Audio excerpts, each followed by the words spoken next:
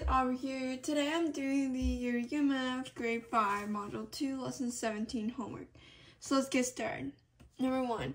Estimate the quotient for the following problems. The first one is done for you. Alright, so A, we have 821 divided by 41. So they first round the quotients, or not, um, not the quotient, my bad, the divisor and the dividend to 800 divided by 40, and that gave them 20. Let's take a look at B.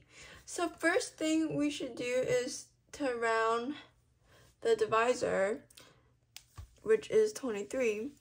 And 23 can round to 20. So then we look at our dividend, which is 617. And we want to round to a number close to 617 that can go easily into 20. So 617, 600 can go into 20. So 600 divided by 20, cross out the zeros. We have 60 divided by 2, which is 30. So 30 would be our answer.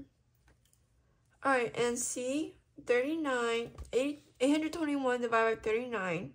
First, we round 39 to 40. And 821 can round to 800, since 40 goes into 800. And we cross off the zeros. And 80 divided by 4 8 divided by 4 is 2, and add the 0. So our answer would be 20. Alright, and D, 482 divided by 52, first round 52 to 50, and 482, um, let's see, we can just do 400, um, 400, let's see, what's the close number?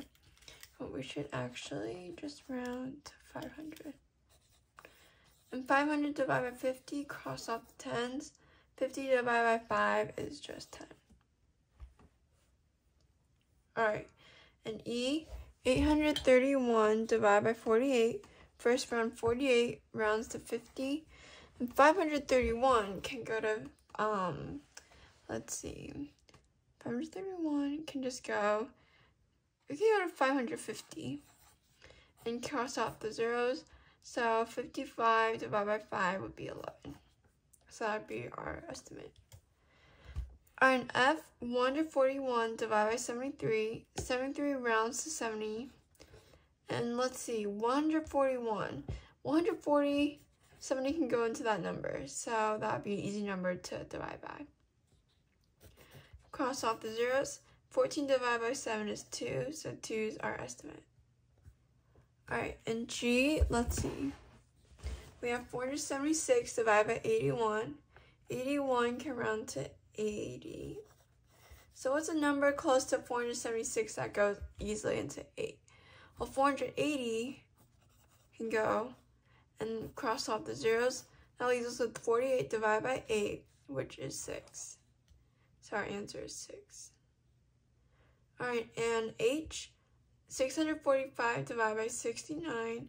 69 rounds to 70. So what number close to 645 rounds goes into 7? 7 goes into. Well, 7 goes into 63, so we round that to 630. Um, cross out the zeros. 7 goes 9 times into 6, 63. So our estimate would be 9. Alright, and I, 99 can round to 100, and 599 can round to 600. Cross off the 0, 6 divided by 1 is 6, so that's our estimate. J, 301 divided by 26. Let's see, 26, we can round to 30. 301 just 300. Cross off the zeros. 30 divided by 3 is 10, so 10 is our estimate. Alright, let's see, K, 729 divided by 81, first round 81, that rounds to 80. And 729, 720 is the number that 80 can go into. So we crossed off the zeros, 72 divided by 8, that's 9. So 9 is our answer.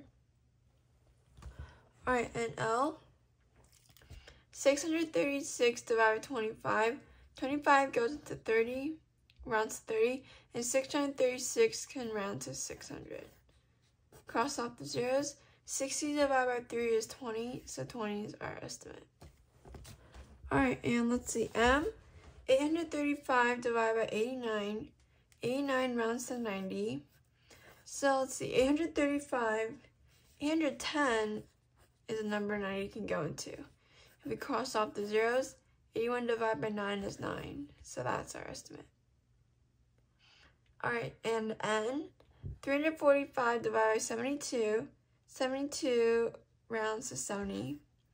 345 can round to 350. Cross off the zeros. 35 divided by 7 is 5. So 5 is our estimate. Alright, O, 559 divided by 11. Let's see. 11 can round to, actually, we don't need to round 11. We can leave it as 11. And 559, we can round it to 550 because 11 can go into 55.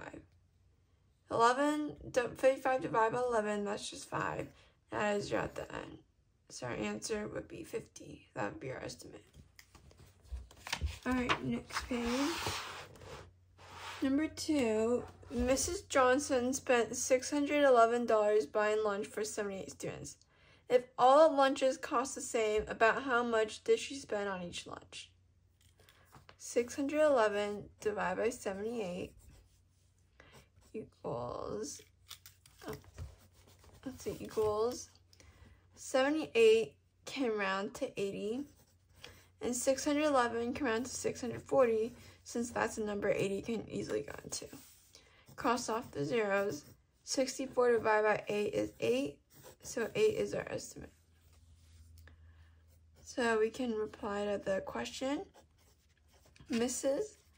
Johnson spent about, and we're saying about because we rounded, that's not the real answer. So about $8 on each lunch. All right, number three. An oil well produces 172 gallons of oil every day. A standard oil, oil barrel holds 42 gallons of oil. About how many barrels of oil will the well produce in one day? Alright, so we have 172 divided by 42 equals 42 goes to 40 and 172, let's see, 16 can go into 4, so we can round that number to 160. Cross off the zeros, 16 divided by 4 is 4, so 4 is our estimate. So the well will produce about, because that's our estimate we're rounding, about four barrels of oil in one day. Alright, and we explain our thinking with our rounding, so yeah. Alright, thank you guys so much for watching. I hope this video helps. And please don't forget to like and subscribe because it really helps out my channel. See you guys next time. Bye!